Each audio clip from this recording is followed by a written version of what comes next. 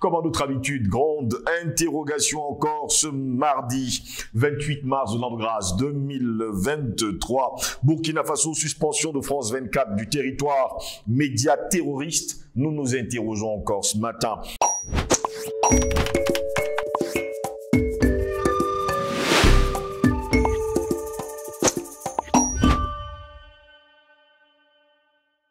Madame, Monsieur, bonjour. Très heureux de vous retrouver sur Panafricaniste TV, la chaîne de télévision des panafricanistes qui vous apporte le meilleur de l'information sur un plateau d'or. Bienvenue à toutes et à tous à cette autre édition de Parole panafricaniste. Il faut préciser par ailleurs que les autorités burkinabées ont pris une lourde décision de suspendre France 24 du territoire burkinabé. Pour mieux comprendre la situation, nous allons vous lire le communiqué justement des autorités burkinabées.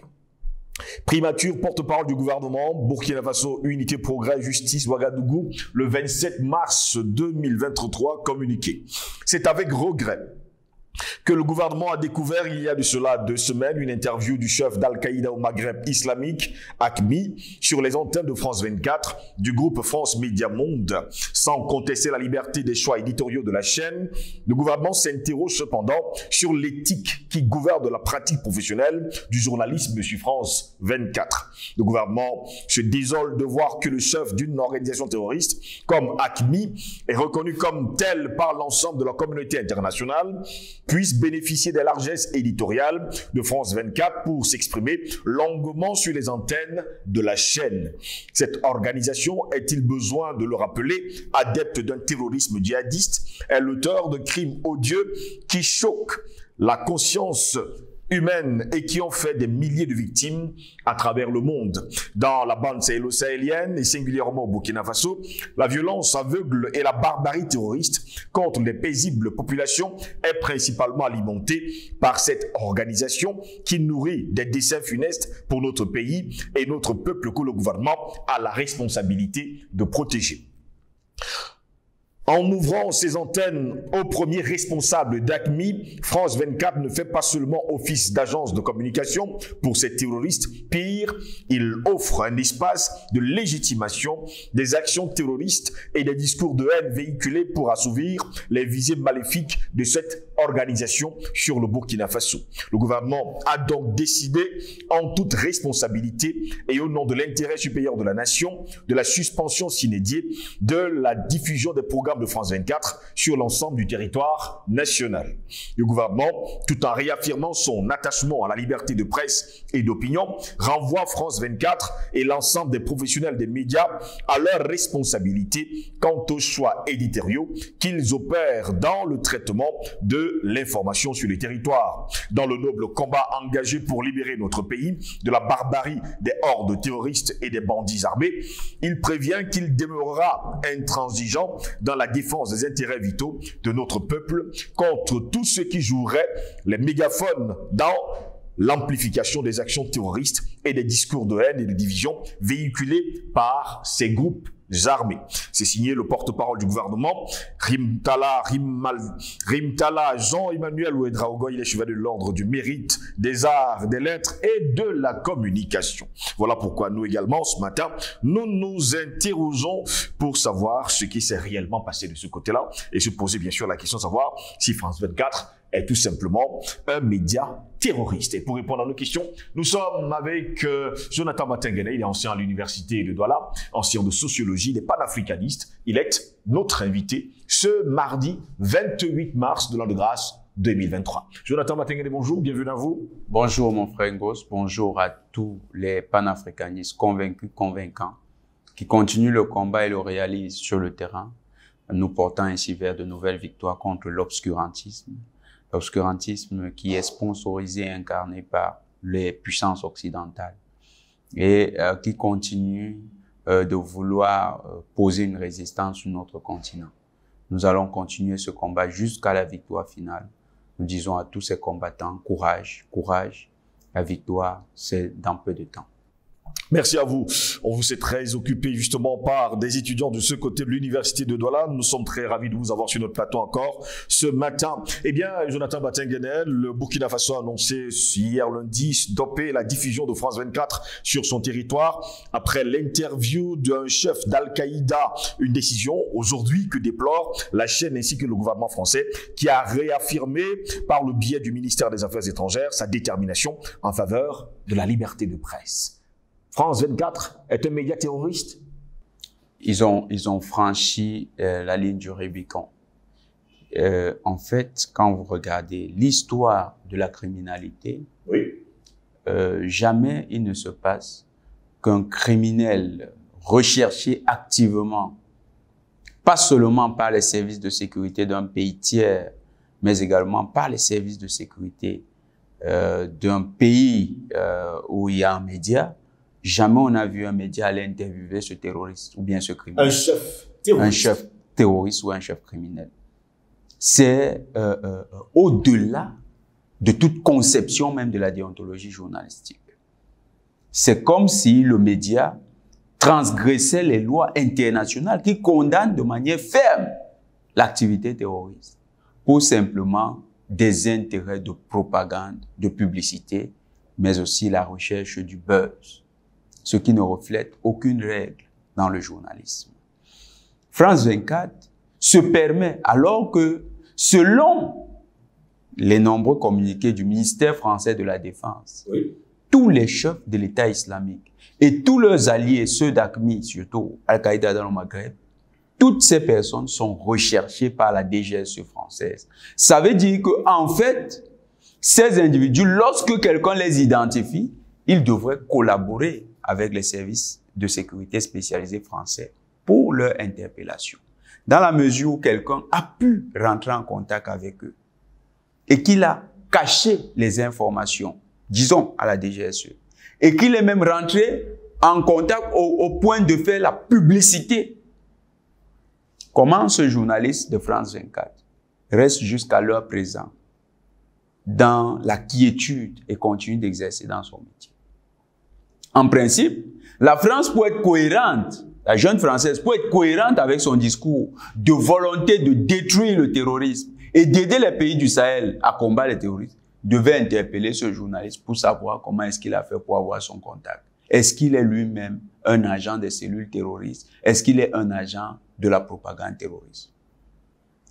Ces questions préalables nous permettent d'élargir l'analyse dans la mesure où la DGSE n'a pas fait cela, dans la mesure où les services spécialisés français n'ont pas interpellé ce journaliste, et que l'interview a été publiée dans le média d'État, un média à la solde du Quai d'Orsay, ça veut dire que non seulement la DGSE est d'accord avec ce qui est fait, mais l'État français, au plus haut niveau, a donné son quitus pour que contact soit établi avec les terroristes au fin de diffuser leurs menaces concernant les pays du Sahel. Donc, la France montre clairement qu'elle est partie prenante et favorable à la diffusion du terrorisme dans le Sahel. Est-ce pas une preuve aujourd'hui que la France est un État terroriste? La France est non seulement un État terroriste, mais un État sponsor du terrorisme.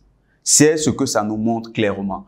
Parce que ce monsieur, Yezid Mebarek, son prédécesseur aurait été tué par les services spéciaux français. Alors, si les services spéciaux français appliquent le deux poids, deux mesures, on tue ton prédécesseur, mais toi, on te fait ta publicité, ça veut dire que la France a pris attache avec ses terroristes, ou bien le prédécesseur n'arrangeait plus les intérêts de la France, le nouveau arrange ses intérêts et il est utilisé pour les besoins de la cause. Ça confirme effectivement ce que nous disons toujours, c'est que la France n'est pas dans le Sahel pour combattre le terrorisme.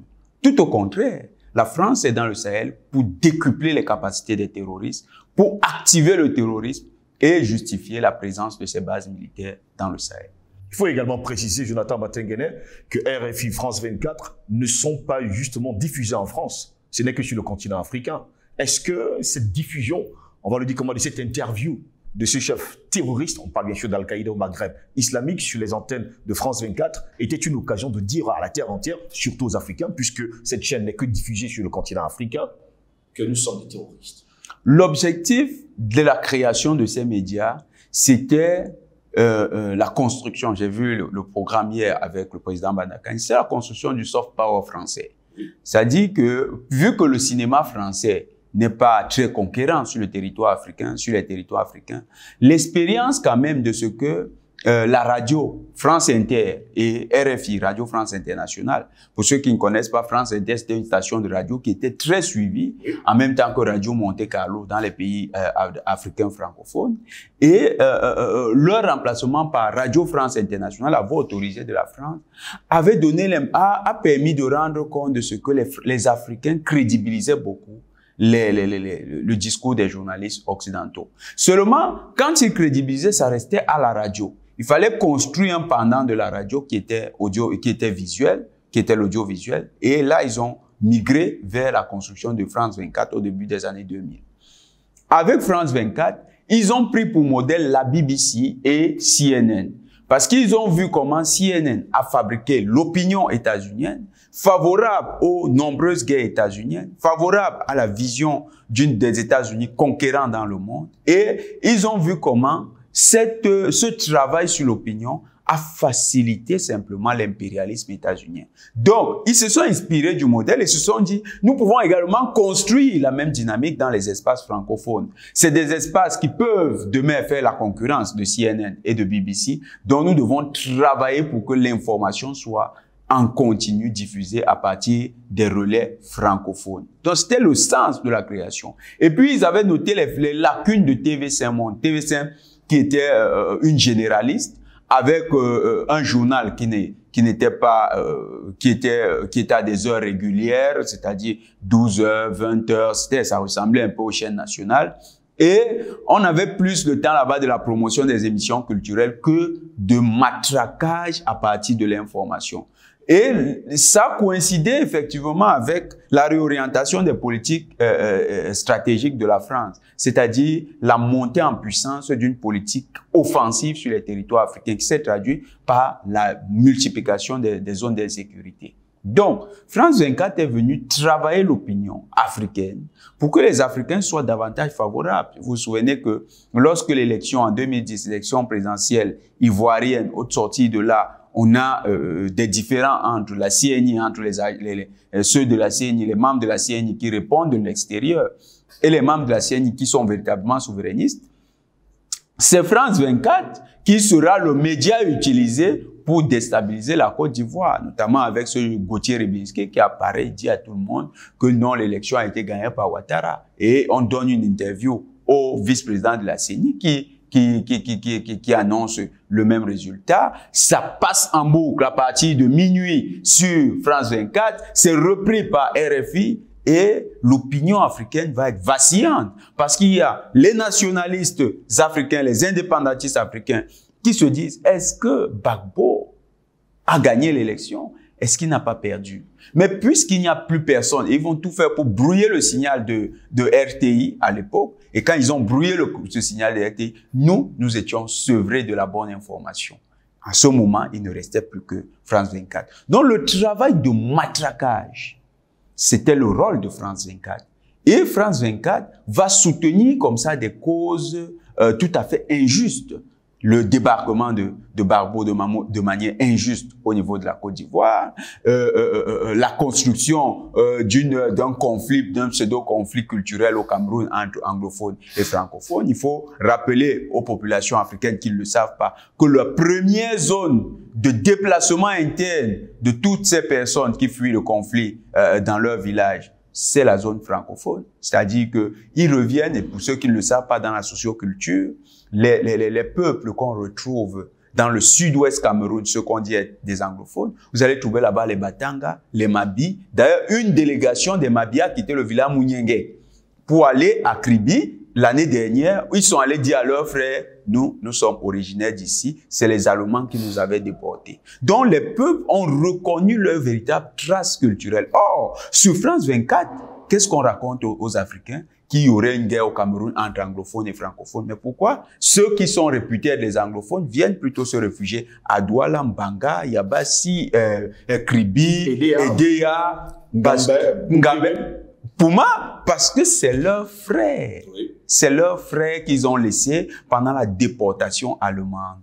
Et ils reviennent sur leur trace. Il n'y a pas un conflit anglophone-francophone au Cameroun. Vous avez vu, la déformation a créé ça. Et vous allez suivre même des analyses, vous le répétez. Vous faites croire qu'il y aurait ce genre de conflit. Quand il y a conflit au niveau du nord-ouest, à Bangourin, qui vient en secours aux populations de Bangourin? C'est le sultan des Bamoun, qui est reconnu à Bangourin comme étant également le sultan des enfants de Bangourin. Mais Bangourin, c'est dans la zone anglophone. Alors, c'est dans la zone qui a été, euh, pardon, qui a été euh, sous administration anglaise. Donc, cette zone-là, ils parlent anglais, mais ils ne sont pas en conflit avec les francophones. Il y a simplement la construction d'une activité terroriste sous le label d'Ambazonie. C'est une, une organisation exactement comme Al-Qaïda. Ils ont décidé de s'attaquer aux intérêts vitaux du Cameroun parce que les États-Unis avaient des intérêts également qui étaient corrélés. C'est ce qui se passe. France 24 a véhiculé une image déformée, tout comme BBC a joué ce rôle, tout comme euh, CNN, parce que pour eux, le soft power, c'est la construction de l'opinion. Et la construction de l'opinion dans le sens favorable à leur recolonisation du monde. France 24, c'est le travail qui menait. Vous avez vu tout ce qu'ils ont fait au Mali. Ils ont passé le temps à vouloir remonter les peuls avec les autres peuples du Mali. Ils ont fait pareil, ils ont tenté également au Burkina, ça n'a pas marché. Aujourd'hui, au Centrafrique, alors au Centrafrique, c'était grave parce que je me souviens pendant l'élection, l'avant-dernière élection présidentielle, lorsque, lorsque Madame euh, Samba Panza organisait les élections, pendant que le, le, le, vote commençait le matin, RFI annonçait des tirs de coups de feu au, au, kilomètre. Heureusement, j'avais quelques contacts à Bangui. J'ai pris mon téléphone très humblement et j'ai appelé de, de, de, ces contacts pour leur demander est-ce que vous avez dit il n'y a même pas un coup de feu. Finalement, ces médias sont des médias terroristes. Tout à fait. C'est, c'est des médias qui font. Ils sont là pour protéger les acquis de la France. Vu que le mécanisme même de déploiement de ces puissances, c'est l'usage de la sous-traitance des terroristes.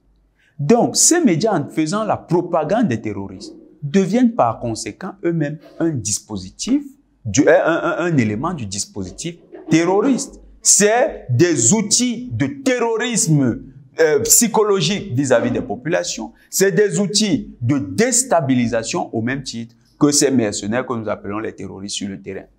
Restons justement du côté du Burkina Faso avec justement les propos du communiqué des autorités burkinabées. Nous estimons que cela participe d'un processus de légitimation du message terroriste et nous connaissons les effets de ce message dans notre pays. Nous ne pouvons pas accepter aujourd'hui qu'un média ouvre ses antennes à ce discours de haine. Tout à fait. Imaginez-vous que en pleine crise après les attentats du 11 septembre 2001, prenons la thèse officielle nous ne disons pas qu'elle soit vraie, mais prenons la thèse officielle, que ce soit euh, euh, euh, Osama Ben Laden qui eut réalisé les attentats. Pensez que les États-Unis accepteraient de voir une chaîne qui émet sur leur territoire interviewer Ben Laden? Ils auraient accepté ça? Je ne pense pas. Je prends la France, prenons un terroriste qui, qui, qui les dérange.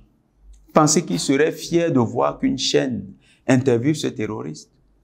La liberté de la presse n'est pas la liberté de discuter avec n'importe qui ou de d'accorder des interviews à n'importe qui.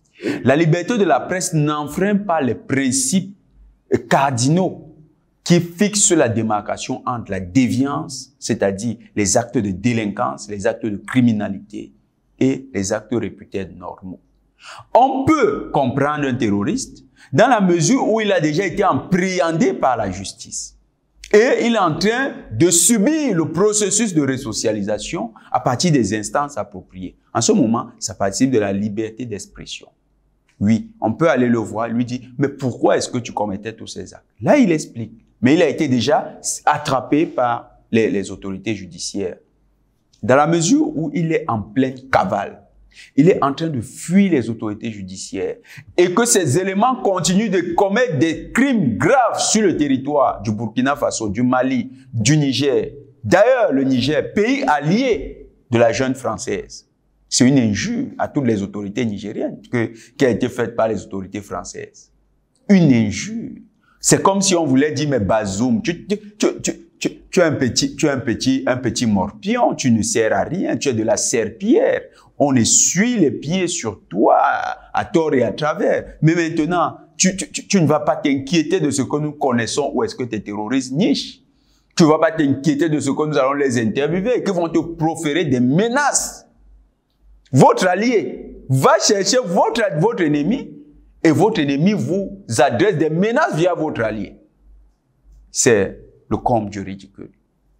Donc, le Burkina a pris acte de ce que, effectivement, se donner la parole à ce genre d'acteurs, ça participe de donner l'impression, parce qu'il parle de légitimation, l'impression aux populations que ces gens ont même le droit d'exister.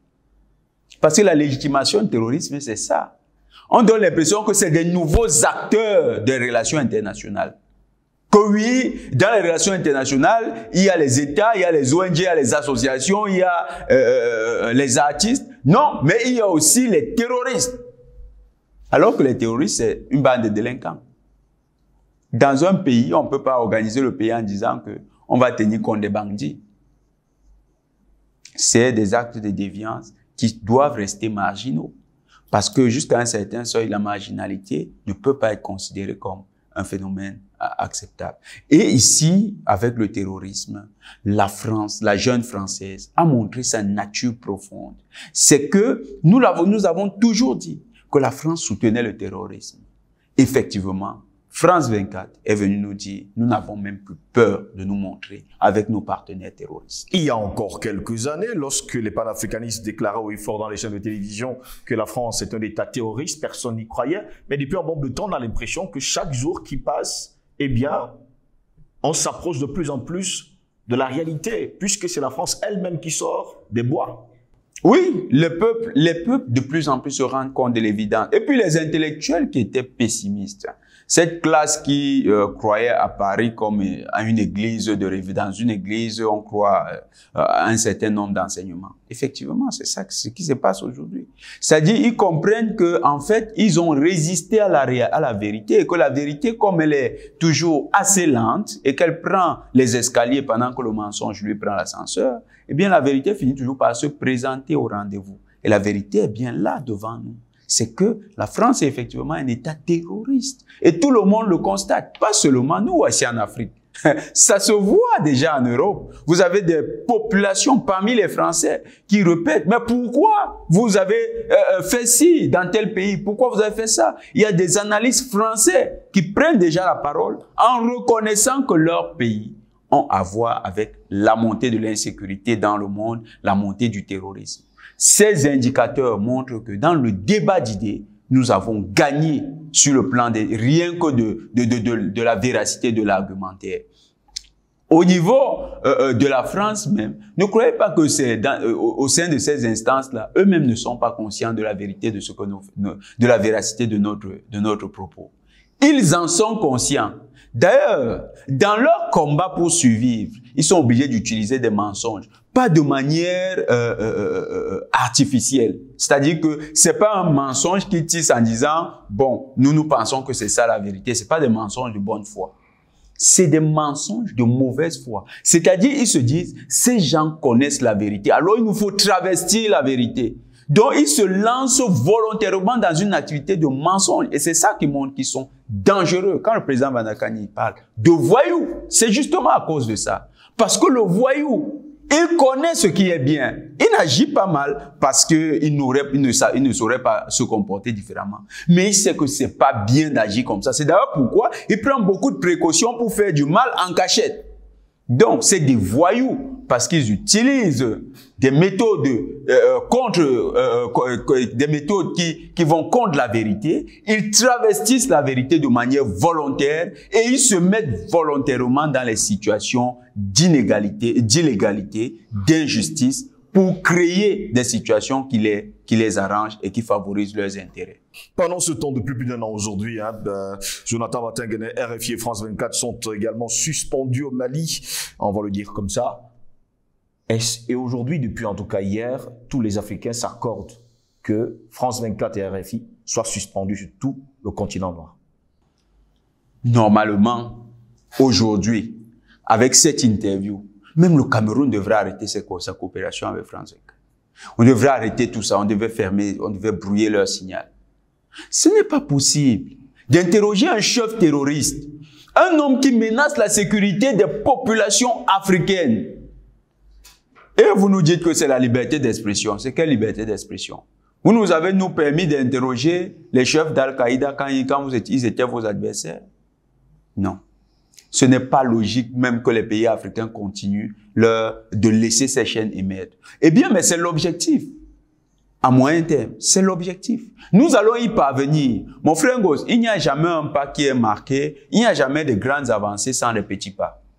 Ces petits pas, nous sommes en train de les marquer. Hier, c'était le Mali. Tout le monde crie, ah, le Mali, ah, le Mali. Aujourd'hui, c'est le Burkina. Je vous garantis que dans les jours qui viennent, France 24 n'aura plus de, n'aura plus de zone d'émission en Afrique.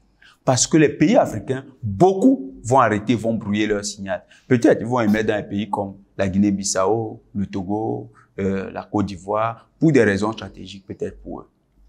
De ces pays sont un peu dans un alignement servile. Et peut-être aussi des pays comme le Gabon, c'est pas trop. Mais pour le reste des pays, nous nous encourageons que ce soit une décision collective, que l'Union africaine soit saisie. Le, le, le Burkina ne doit pas s'arrêter à ce niveau-là. Il faut que le Burkina saisisse les instances de l'Union africaine.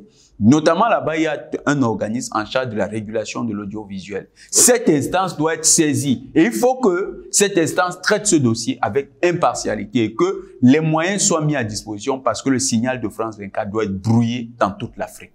Et pour rappeler justement nos téléspectateurs que la personne qui avait été interviewée pour France 24, c'est Abu Obeida Youssef Al-Anabi, le chef d'ACMI. On parle bien sûr d'Al-Qaïda au Maghreb islamique, on va le dire comme ça, qui a répondu à plus d'une quinzaine de questions causées par le journaliste de la chaîne française et spécialiste des questions djihadistes, Wassim Nasser. Allez savoir justement ce qui se cache. Est-il spécialiste des questions djihadistes? Ce monsieur, je le vois faire des émissions sur les quartiers en, France. C'est un, c'est un journaliste qui est dans la, il est dans la générale. Il n'est pas un spécialiste du terrorisme. D'ailleurs, quand vous suivez l'interview, vous comprenez qu'il n'est pas un spécialiste du terrorisme. Il est peut-être arabisant, c'est-à-dire quelqu'un qui parle arabe. C'est peut-être là, là tout qu'il a, mais il n'est pas un spécialiste du terrorisme. Allez savoir. Merci à vous, en tout cas, Jonathan Matéry, d'avoir été de notre encore ce matin. C'est un plaisir, mon frère. Mesdames, Messieurs, c'est ici que s'achève cette édition de Parole de panafricanisme. Au plaisir de vous retrouver très prochainement. Nous vous souhaitons de passer une agréable journée. go!